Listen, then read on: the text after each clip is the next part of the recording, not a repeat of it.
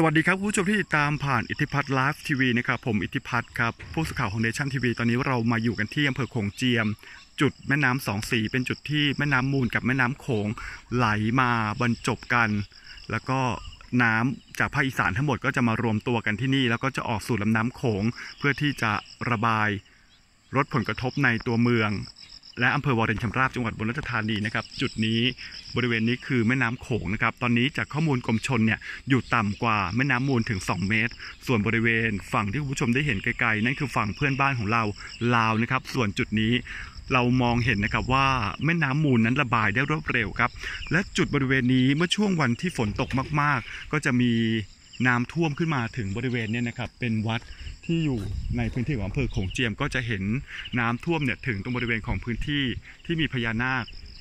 เนี่ยครับตรงนี้เป็นพื้นที่ริมตลิ่งนะครับ ที่ก่อนหน้านี้เคยน้ำเอ่อขึ้นมา ในช่วงนั้นแม่น้ำมูล แม่น้ำโขงน้ำโขงก็เยอะน้ำมูลก็เยอะมารวมกันก็เลยท่วมขึ้นมา บนพื้นที่บริเวณของหน้าวัดโขงเจียม จุดบริเวณเนี้ยนะครับ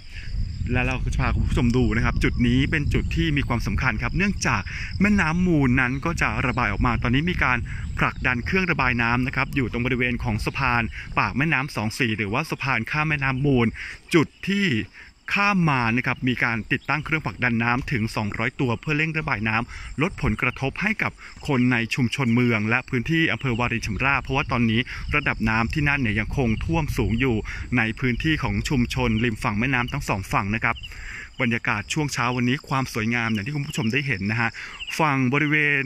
ด้านที่เห็นตรงนี้ยังเป็นฝั่งของไทยอยู่ แต่ว่าถ้ามองไปไกลๆทางด้านนู้นเนี่ยจะเป็นพื้นที่ของเพื่อนบ้าน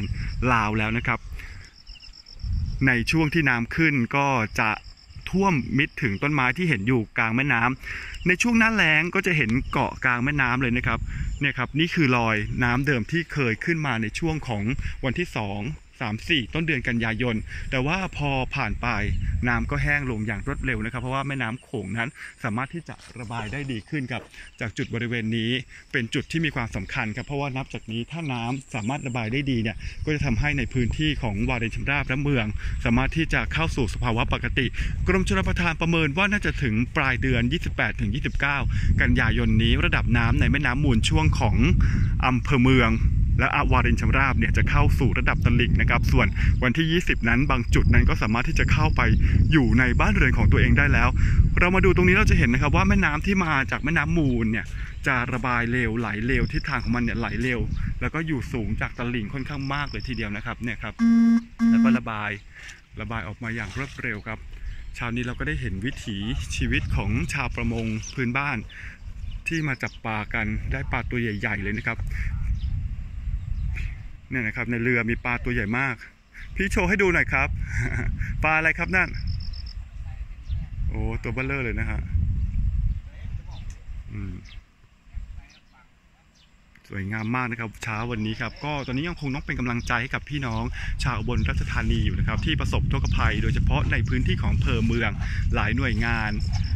หลายฝ่ายตอนนี้ระดมกำลังเร่งการบริจาคช่วยเหลือเพื่อซับน้ำตาพี่น้องชาวอีสาน แล้วก็ชาวบนราชธานีที่ถือว่าเป็นปีที่ได้รับอุทกภัยจากมวลน้ำที่หลั่งไหลกันมาเป็นจำนวนมาก ตอนนี้ถ้าไปดูทางตอนเหนือ ทางยโสธรยังร้อยเอ็ดเนี่ย ทางยโสธรยังมีมวลน้ำอยู่นะครับ ที่ยังหน่วงเอาไว้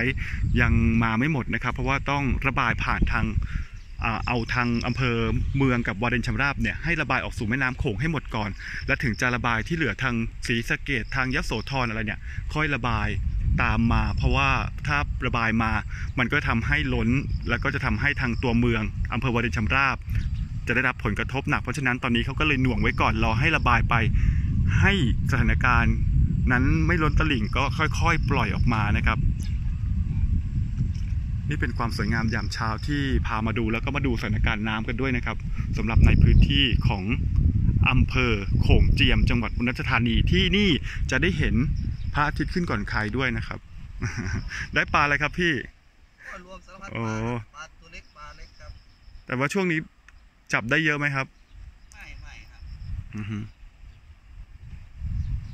น้ำมันนี่นะน้ำมันไหลไม่ค่อยได้น้ำมันไหลแรงใช่ไหมครับครับ มันไหลแรงช่วงนี้หรือว่า ช่วงก่อนแรงหน้านี้แรงไหมฮะมันมันก็ไม่แรงครับแต่ว่าพวกที่เมืองพวกจังหวัดเขาเอาเครื่องปั่นมาปั่นโอ้ผลักดันน้ำมันก็เลยแรงครับคุณผู้ชมขอบคุณสำหรับการรับชม